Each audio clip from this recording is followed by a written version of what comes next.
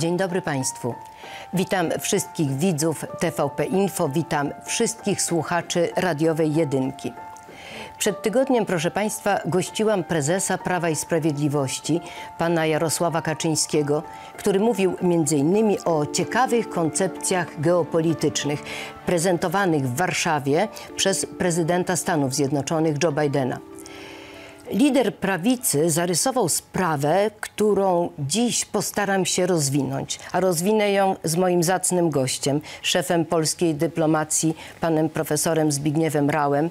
Dzień dobry panie profesorze, dzień dobry panie ministrze i bardzo dziękuję za przyjęcie zaproszenia do telewizji polskiej, do Polskiego Radia. Dziękuję bardzo za możliwość bycia z państwem.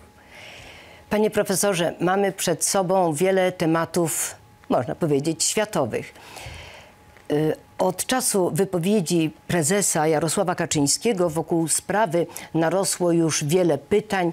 Ja w takim razie muszę pana profesora też zapytać, w czym rzecz? Bo, bo w zasadzie dominuje narracja, że y, Stany Zjednoczone widzą Polskę jako zwornik bezpieczeństwa tego regionu, naszego regionu. Na ile jest to teza uprawniona, na ile może być to teza prawdziwa, czy jest prawdziwa? Pani redaktor, po agresji Federacji Rosyjskiej przeciwko Ukrainie, Stany Zjednoczone musiały potwierdzić i utwierdzić swoje przywództwo wolnego świata.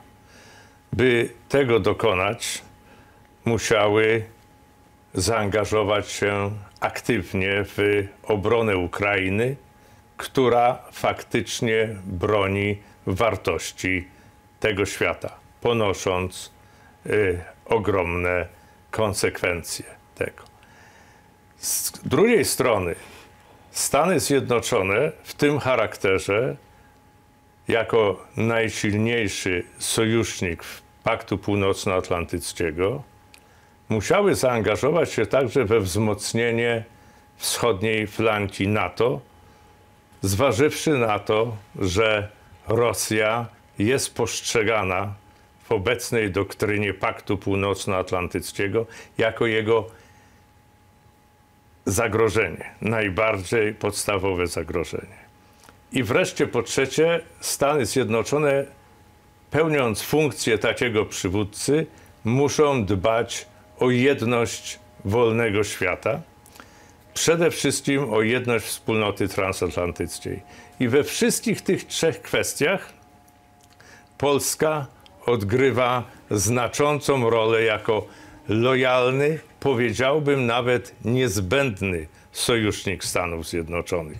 Nie można pomagać efektywnie dzisiaj Ukrainie, nie współpracując z Polską ze względów oczywistych, chociażby tylko logistycznych, ale to poza, poza tym jest to także kwestia współpracy politycznej, wspólnoty wartości i tak dalej nie można umacniać wschodniej flanki NATO, dbać o jej obronę i dbać o to, co nazywamy odstraszaniem wszystkich potencjalnych y, przeciwników, bez współpracy z Polską, która jest najsilniejszym ogniwem, bez wątpienia y, najsilniejszym tejże flanki. I gdy idzie o jedność wspólnoty transatlantyckiej, to utrzymanie jej, a nadanie także tej jedności takiego dynamicznego, pełnego aktywizmu charakteru, jak zauważyliśmy w ciągu ostatniego roku, też jest niemożliwe. To przecież Polska występuje z nowymi inicjatywami, szczególnie w Europie kontynentalnej, wskazując przypomnijmy sobie kwestię leopardów. Kiedy bezwzględnie ta wspólnota transatlantycka powinna przystąpić do zaopatrywania Ukrainy w ten e, sprzęt wojskowy. Prawda? A więc wywieramy tutaj no, dość skuteczną presję na naszych sojuszników, tych, których nie cechuje ani taki dynamizm pomocy Ukrainie, ani też taki aktywizm. Tak, panie profesorze, w tym kontekście y, dopytam w takim razie, czy mamy szansę na polskie Rammstein? No, założenie przyjmujemy tacie, że jest to wspólna odpowiedzialność, przede wszystkim wspólna odpowiedzialność za pomoc Ukrainie. Staramy się jednak w ramach tych wspólnych wysiłków być jak najbardziej aktywni. Więc rzeczywiście w tym wymiarze funkcjonalnym odgrywamy tutaj bardzo znaczącą rolę. A szansa jest w ogóle? Czy, czy to są tymczasem tylko polskie oczekiwania? Czy Państwo w ogóle Tak na się- ten temat rozmawiają? Pani, pani redaktor, tak się składa od roku, że polskie dążenia, polskie oczekiwania stają się po czasie rzeczywistością. Właśnie, bo pojawiły się te informacje, że wojsko amerykańskie ma stacjonować i w Rumunii, i w Polsce. To rzeczywiście, proszę I spojrzeć tu teraz. mówiło się o wysokich kwotach. Tak, tak jest. To wszystko zależy od e, sytuacji w samej Ukrainie, ale także w, e, we wspólnocie transatlantyckiej. Widzimy, jak bardzo e, przes, e, e, uległy zmianie oczekiwania nasze i jak one są realizowane. Któż wcześniej mógł oczekiwać prawie 10 tysięcy amerykańskich żołnierzy na naszej ziemi? A to, jak spojrzymy na całą wschodnią flankę, no to bynajmniej nie jest zamknięty, zamknięty proces. Sama świadomość nawet naszych sojuszników, tych Zachodu, także ulega zmianie tej kwestii. Wystarczy e, e, wspomnieć ostatnie wypowiedzi niemieckiego ministra spraw zagranicznych, mimo że dla nas e, tempo tych przemian nie jest satysfakcjonujące. Tak, panie profesorze, czy w takim razie możemy mówić o takim sojuszu strategicznym? I czy ten sojusz można do czegokolwiek porównywać, na przykład do partnerstwa amerykańsko-brytyjskiego, amerykańsko-izraelskiego, czy ten alians nasz wymyka się niejako tym schematom dotychczasowym?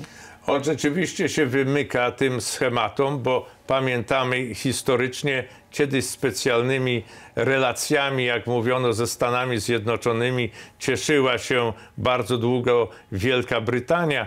Później mniej więcej od prezydentury Billa Clintona, szczególnie demokraci zaczęli wskazywać na Niemcy, a teraz widzimy, że ten proces bynajmniej nie jest, nie jest zamknięty, bo agresja rosyjska przeciwko Ukrainie uzmysłowiła Europejczykom ogromny deficyt bezpieczeństwa, szczególnie w Europie kontynentalnej.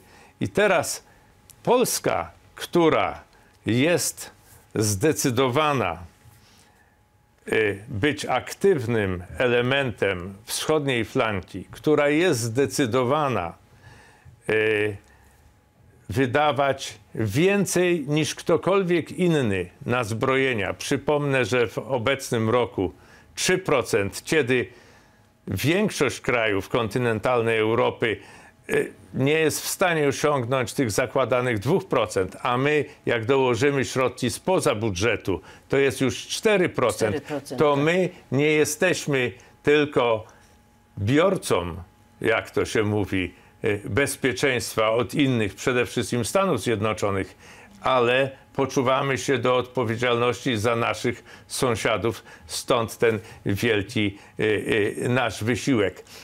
Tym samym, jeśli jeszcze spojrzymy, że oferujemy bezpieczeństwo humanitarne uchodźcom wojennym z Ukrainy, przecież przez naszą granicę przeszło prawie milion uchodźców. Duża część znalazła tutaj y, Dom. zabezpieczenie, dom, prawda, warunki bezpiecznej egzystencji.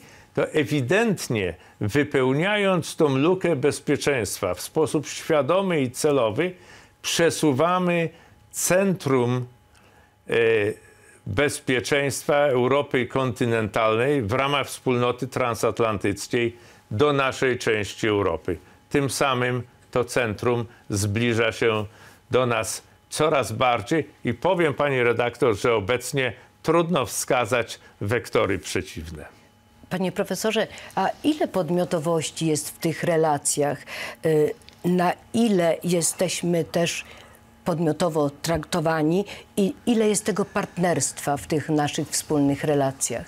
Y, To jest bardzo ważne pytanie i ono y, należy do y, tych, które dotykają istoty zagadnienia. W naszej części Europy od stuleci brakowało zamieszkującym tą część kontynentu narodom podmiotowości.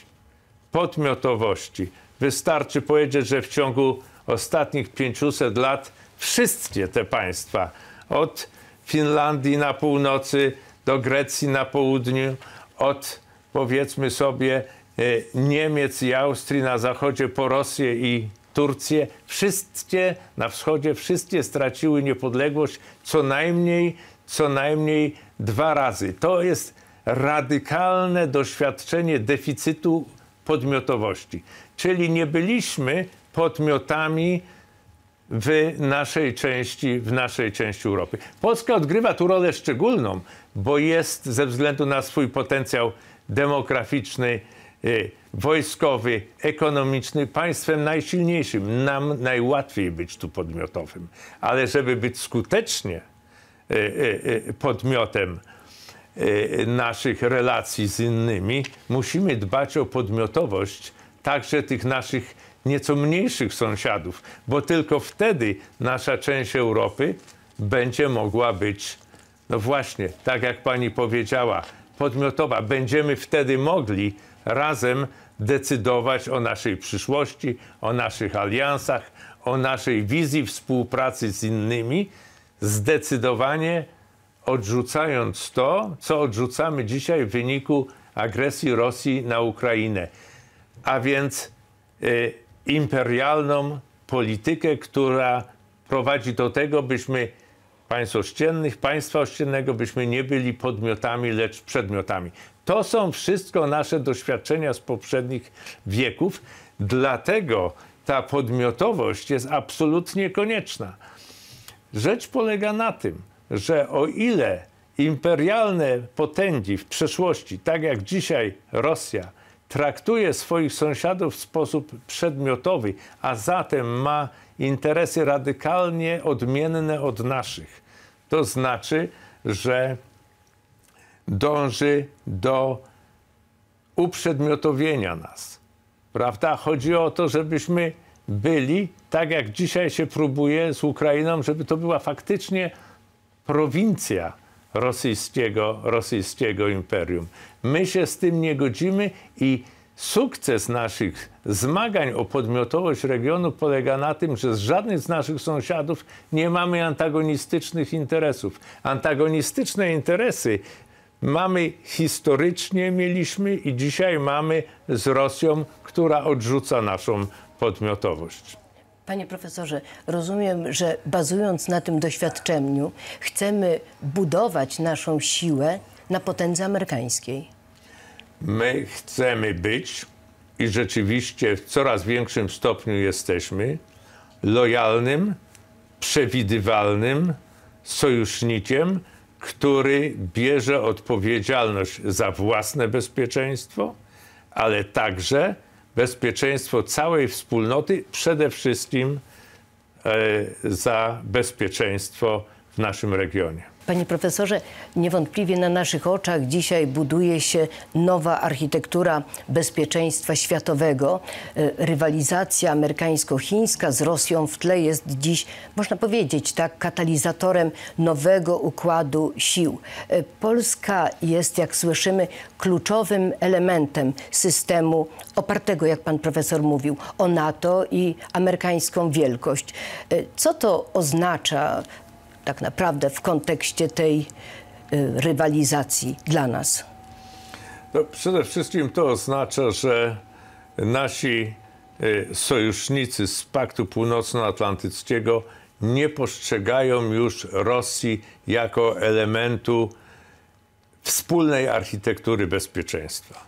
Tak było w przeszłości. Obecnie tą nową architekturę bezpieczeństwa, o której pani redaktor mówi, budujemy nie razem z Rosją, lecz przeciwko Rosji.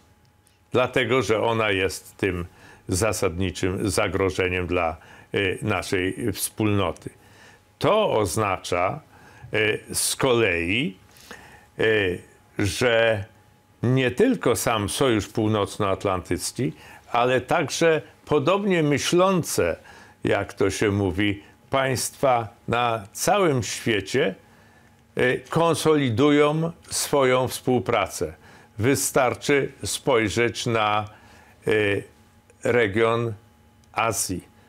Spójrzmy także na Australię. Tam, co prawda, kilka miesięcy przed y, agresją Rosji na Ukrainę, ale w reakcji już na bardzo wyraźne napięcie, gdy idzie o bezpieczeństwo międzynarodowe, powstał nowy sojusz, prawda? AUKUS.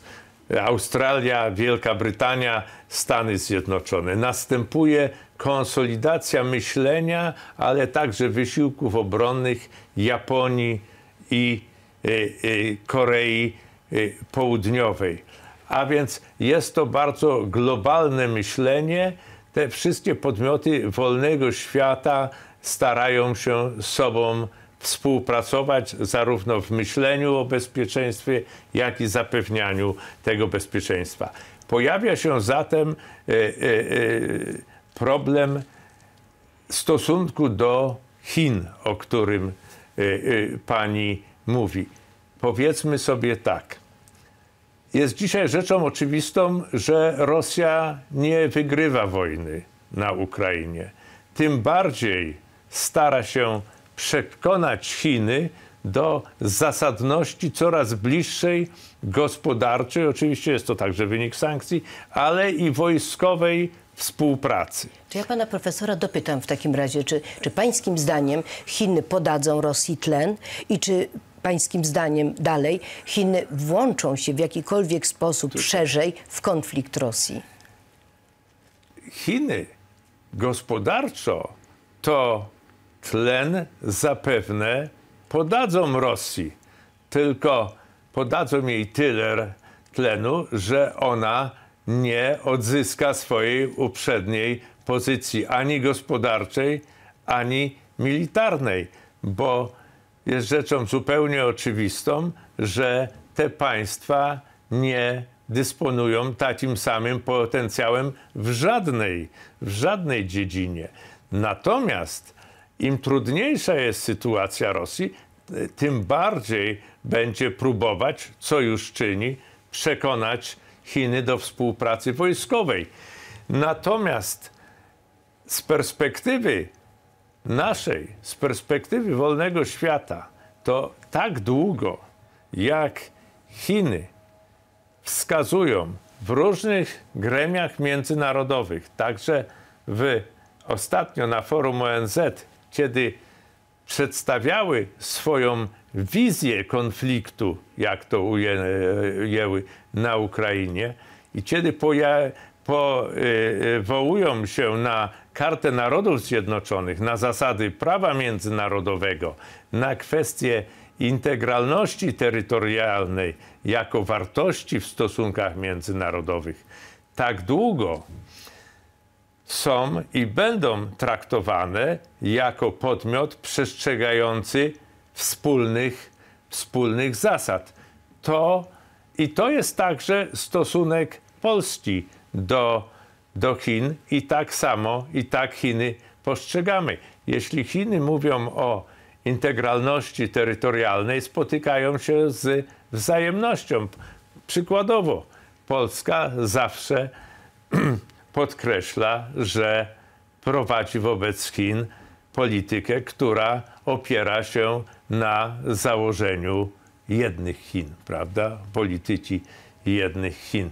Także sprawa bynajmniej nie jest, nie jest przesądzona i jak do tej pory Rosja ma sukcesy w relacjach z przeciąganiem jak gdyby Chin na swoją stronę, ale są to sukcesy ograniczone.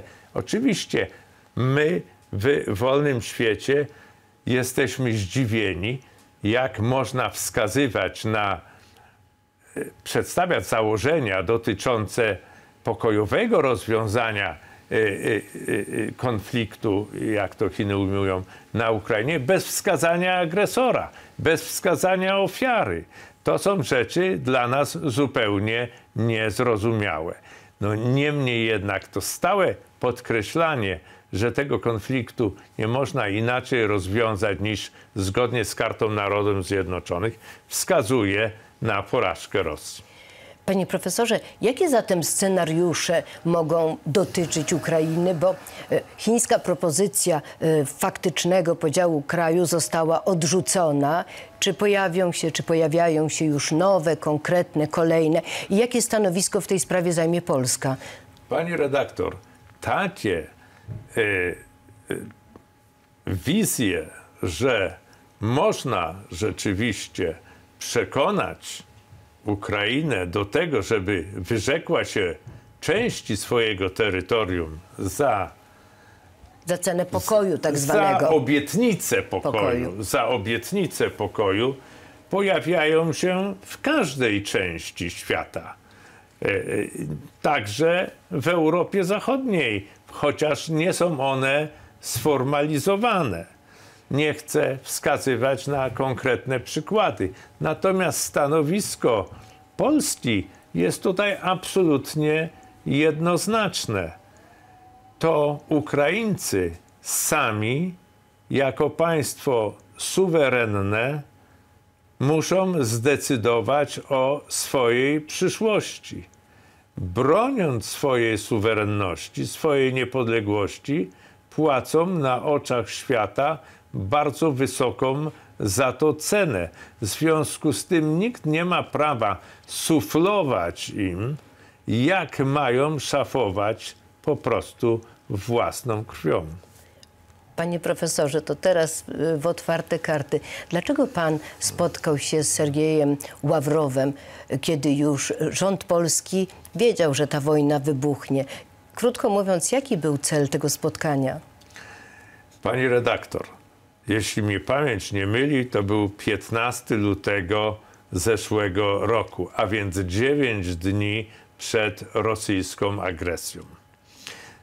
W Moskwie pojawiłem się jako urzędujący przewodniczący Organizacji Bezpieczeństwa i Współpracy w Europie. Moim obowiązkiem było e, złożyć wizyty w państwach, które posiadały zasadnicze znaczenie dla przyszłości i funkcjonowania organizacji, którą Polska wtedy kierowała. Złożyłem wizytę w Waszyngtonie, w Kijowie i w Moskwie. Kiedy byłem w Moskwie, minister Ławrow zapewnił mnie, że e, Duma państwowa nie wyrazi zgody na uznanie jako suwerennych podmiotów tych dwóch rozłamowych y, republik, samozwańczych republik na wschodzie Ukrainy. Faktycznie okazało się, że najprawdopodobniej już wtedy rozkazy dotyczące inwazji Ukrainy zostały wydane. Natomiast formalnie nic na to nie wskazywało. My mieliśmy y, dane pochodzące z, od wywiadów państw zachodnich, szczególnie Stanów Zjednoczonych, Wielkiej Brytanii. To były dane, jak się okazało, bardzo realistyczne od państw Europy kontynentalnej, Niemiec czy Francji. Były zupełnie, zupełnie inne. No niemniej jednak trudno było jeszcze uwierzyć, że do agresji dojdzie. Kiedy do tej agresji doszło, jak pani redaktor pamięta, udało się pod polskim przewodnictwem zapewnić zdecydowane potępienie rosyjskiej agresji przez, jeśli dobrze pamiętam, 40 w sposób jednoznaczny 47 państw członków OBWE potępiło tą agresję na 57. E, Panie profesorze, y, zmieniające się w ogóle warunki aliansów, no, dotyczą także Europy. To jest sprawa naturalna. Sama Unia Europejska wydaje się być już dzisiaj takim tworem w kryzysie. Scenariusze federalizacji dla, dla wielu były po prostu nie do przyjęcia. Jak w tym kontekście lokuje się nasze położenie pańskim zdaniem? Gdy idzie o te projekty O zmiany tych federalizacji, federalizacji, Federalizacji to znamy, że Unii Polska jest Europejskiej, absolutnie to przeciwko. nie ma o czym rozmawiać. Ale pytam, panie przecież. profesorze, o te zmieniające się alianse, bo, bo wojna na Ukrainie jednak, tak jak mówimy, zmienia to bezpieczeństwo w świecie. Cała architektura bezpieczeństwa staje, jak gdyby budowana jest na nowo.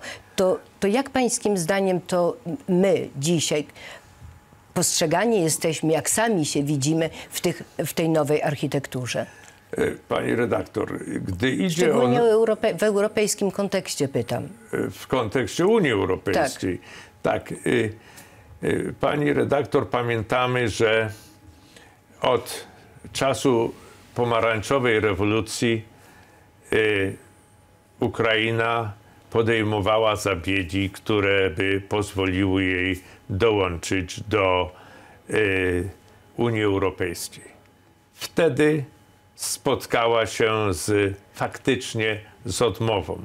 To, co później y, stało się bardzo widoczne, to to, że ci na zachodzie Europy, którzy byli odpowiedzialni za tą odmowę, jednocześnie Rosji proponowali tak zwany pakt dla, e, partnerstwo dla modernizacji.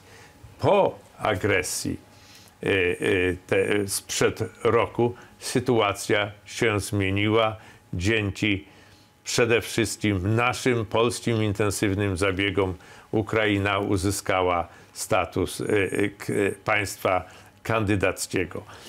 Więc to wskazuje na zmieniające się sojusze i, i alianse. Powiem tak, jeśli chodzi o stanowisko Polski, to ono jest absolutnie jednoznaczne. My jesteśmy zwolennikiem rozszerzenia Unii o państwa, które do tego aspirują. Stale jesteśmy zwolennikiem, ba, adwokatem akcesji do Unii państw Bałkanów Zachodnich. To samo dotyczy Ukrainy i daj Boże w przyszłości po przełomie demokratycznym zapewne tak samo będziemy patrzeć na, na y, Białoruś. Dlaczego, pani redaktor, jest to tak niezwykle ważne? My jesteśmy przekonani i wszystko, czego doświadczamy od powiedzmy dwóch dekad, y, to potwierdza. Jeśli chcemy bezpiecznej, stabilnej i zamożnej Europy, to musimy przyjąć te same standardy demokratycznego rozwoju dla wszystkich jej części. Jeśli Ukraina jest państwem demokratycznym i takimi są y, państwa Bałkanów Zachodnich, to po prostu mają absolutne prawo, niekwestionowane, stać się członkami Unii Europejskiej. Jeśli chodzi o kwestie y, y, aspiracji y, atlantyckich Ukrainy, rzecz z naszej perspektywy wygląda zasadniczo podobnie. My zawsze argumentujemy za otwartymi drzwiami dla potencjalnych członków wspólnoty atlantyckiej. Nasze stanowisko wobec akcesji Szwecji i Finlandii jest Jednoznacznie. jednoznaczne i zawsze, i zawsze takie było. Problem sprowadza się do tego, że y, w, y, we wspólnocie transatlantyckiej zasadniczą rolę odgrywa jednak jednomyślność. A to, by ją osiągnąć w kwestii akcesji Ukrainy, oznacza pewien proces. Jak długo on będzie trwał, nie wiemy. Problem zatem polega na tym, żeby zapewnić Ukrainie zdolność do obrony i odstraszania w momencie, kiedy jeszcze aspiruje do tego członkostwa. To znaczy, że to nie jest takie zasadnicze pytanie, czy. To jest pytanie, kiedy? Po prostu dlatego, że wspólnota transatlantycka nie może zrezygnować z polityki, którą deklaruje, polityki otwartych drzwi, bo gdyby one były nieotwarte, pani redaktor, tylko uchylone, to zawsze ktoś będzie próbował je zamknąć albo z zewnątrz, albo od wewnątrz. Panie profesorze, a jaka jest rola Trójmorza?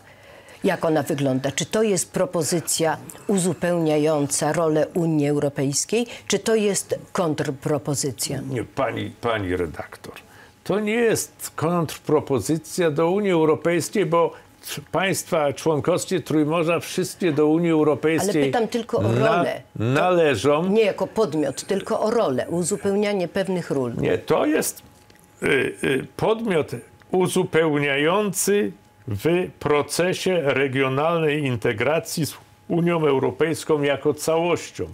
Dlatego, że ze względu na pewne zapóźnienia, oczywiste zapóźnienia rozwojowe, historycznie uzasadnione, kiedy ten podmiot stawia na y, wspólną infrastrukturę transportową, energetyczną i w wymiarze cyberprzestrzeni, to chodzi o to, żeby integracja wewnątrz unijna była bardziej efektowna, bardziej dynamiczna. Ale poruszyła Pani niezwykle ważną rzecz, bo jak mówimy o tych zapóźnieniach rozwojowych y, Trójmorza w stosunku do tak zwanej starej Unii, to przecież gdy idzie o przyszłość Ukrainy, o jej odbudowę, to właśnie nasz region dysponuje doświadczeniem przezwyciężania tych, przezwyciężania tych e, e, zapóźnień. A zatem mnie jest bardzo trudno wyobrazić sobie odbudowę Ukrainy bez bardzo istotnej roli Trójmorza jako tego podmiotu, który dysponuje odpowiednim doświadczeniem, nie mówiąc już o położeniu geograficznym. To przecież z Trójmorzem Ukraina graniczy. Właśnie, panie profesorze, czy to nie będzie już w tej chwili tak, że będziemy się przyglądali tej współpracy Warszawa, Kijów i ona będzie takim nowym horyzontem myślenia o naszej części świata w ogóle? Pani redaktor, obecnie Mamy czas wojny za naszą granicą. Myślimy przede wszystkim o bezpieczeństwie. Jak myślimy o naszym bezpieczeństwie i myślimy o Ukrainie, to wspieramy ją także, a ja bym powiedział przede wszystkim dlatego, że jest to w naszym najbardziej żywotnym, egzystencjalnym interesie. To nie jest dobroczynność międzynarodowa. Ta, a zatem ta współpraca układa się pod względem wspierania Ukrainy bardzo dobrze, powtarzam, w naszym żywotnym interesie, bo jesteśmy oczywiście członkiem Paktu Północnoatlantyckiego. Jest to najdoskonalsza formuła zapewnienia sobie bezpieczeństwa. Ale my wiemy, patrząc także na doświadczenia Ukrainy, patrząc na e, doktrynę NATO, że każde państwo powinno w ramach sojuszu także myśleć o własnym bezpieczeństwie zapewnianym własnym wysiłkiem. I my to robimy. Jeśli nawet przyjdzie nam stąd te nasze zdecydowane zbrojenia, przyjdzie nam przez jakiś czas samemu się bronić, to musimy dać radę to zrobić, zanim sojusznicy przyjdą nam z pomocą. I teraz, jak z tej perspektywy patrzymy na Ukrainę, że ona dysponuje tym potencjałem odstraszania i obrony, to po prostu działa w naszym interesie. Ja lubię powtarzać, że pierwszy raz w dziejach jakieś państwo walczy za naszą wolność. W XIX wieku my zawsze walczyliśmy o wolność innych, a vice versa to było bardzo, bardzo różnie. Teraz jest inaczej. To jest nasz żywotny interes. Jak pani pyta o przyszłość, pani redaktor, to z perspektywy tych doświadczeń musimy sobie powiedzieć to, co jest bardzo obiecujące. Nasze społeczeństwa, polskie i ukraińskie, nigdy w tysiącletnich dziejach nie były sobie tak bliskie. A rządzące elity, dzisiaj rządzące w Polsce i na Ukrainie, też są stosunkowo bliskie. Doświadczenia ukraińskie, pomocy Ukrainie wskazują, że jest to bardzo ważny, bardzo ważny potencjał, na którym na pewno nie raz będą obie strony chciały budować. Panie profesorze, pozostając w naszym regionie, nie możemy nie zauważyć Białorusi. Czy wojna Rosji oddaliła albo tylko przesunęła w czasie jej aneksję, czy też jednak dyktator Łukaszenka będzie grabarzem tego kraju? Pani redaktor, Aleksander Łukaszenka kieruje się swoją własną wolą tylko w jednej kwestii. Kiedy stara się przedłużyć swoją władzę jak najdłużej. We wszystkich pozostałych kwestiach kieruje się wolą swoich rosyjskich protektorów. I czyniąc tak, doprowadził do pełzającej aneksji jego kraju przez Federację Rosyjską. I to w wymiarze wojskowym, oczywiście, w wymiarze gospodarczym i praktycznie we wszystkich pozostałych. Ale my w Polsce musimy pamiętać o jednej rzeczy. Białoruś będzie państwem demokratycznym. Nie wyobrażamy sobie, że mimo tego, że ten ruch protestu, ruch, jak myśmy w czasach Solidarności mówili, rewindykacyjny, że on został oczywiście zdławiony, ale miliony ludzi było albo czynnie, albo tylko biernie i mentalnie zaangażowany w te zmagania. Czy możemy sobie, mając doświadczenia nasze polskie, Solidarności, wyobrazić, że ci ludzie, którzy protestowali przeciwko Łukaszence w sposób bardzo zdeterminowany, pełen wigoru, dwa lata temu, będą wychowywać swoje dzieci w lojalności do tego reżimu? Zapewne nie. To nie jest sprawa czy, jak pani mówiła, tylko kiedy będziemy sąsiadowali z demokratyczną Białorusią. Dlatego pomagamy społeczeństwu białoruskiemu tam, gdzie tylko możemy. Panie profesorze, podsumowując nasze spotkanie, chciałam dopytać o kierunki polskiej polityki zagranicznej. I w tym kontekście trzeba zadać pytanie, czy koniunktura polityczna nie będzie zagrażała tym zasadniczym, powiedzmy, celom? Pani redaktor, ja jestem głęboko przekonany, że niezależnie od takiej czy innej koniunktury politycznej, takiej czy innej politycznej konstelacji, Polska będzie się kierować trzema zasadami swojej polityki zagranicznej, tymi, które kieruje się obecnie i w ciągu naszych rządów, rządów Zjednoczonej Prawicy. Po pierwsze, pierwszą zasadą jest zapewnienie pokoju i bezpieczeństwa. Druga zasada sprowadza się do odrzucenia wszelkiej imperialnej polityki, odrzucenia koncertów mocarstw, stref wpływów i tak.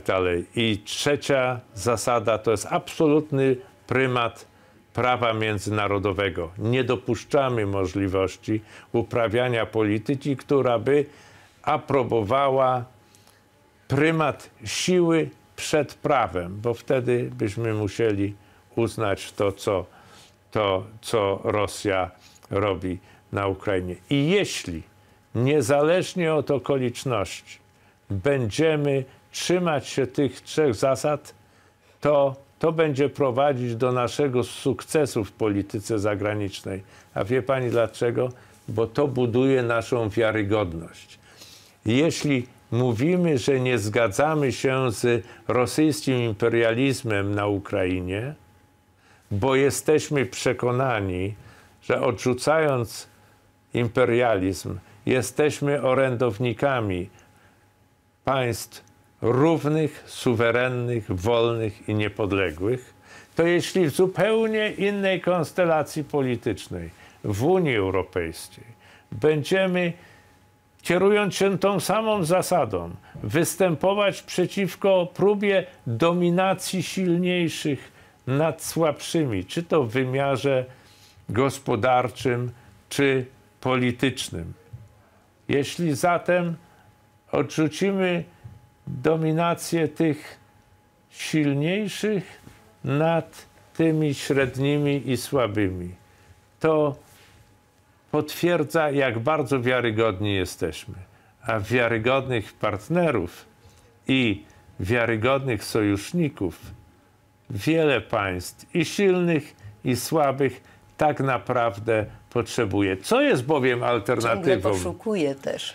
To prawda, ale co jest alternatywą dla takiej polityki? Tak zwana polityka transakcyjna. Ty mi dasz coś, a ja, a ja ci za to dam coś innego. Odkładamy zasady na bok, te trzy, o których mówiliśmy. I cóż, w jakim świecie przyjdzie nam żyć?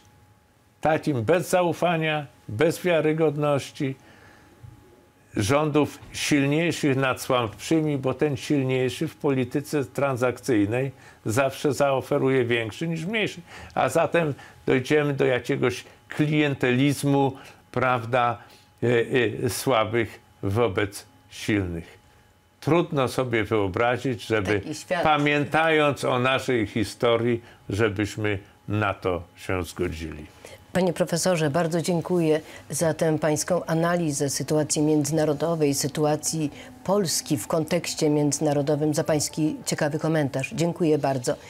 Dziękuję wszy- bardzo. A wszystkich naszych y, słuchaczy, naszych widzów, widzów telewizji polskiej, słuchaczy Polskiego Radia zapraszam za tydzień i będę na Państwa czekała. Do usłyszenia, do zobaczenia. Małgorzata Raczyńska-Weinsberg.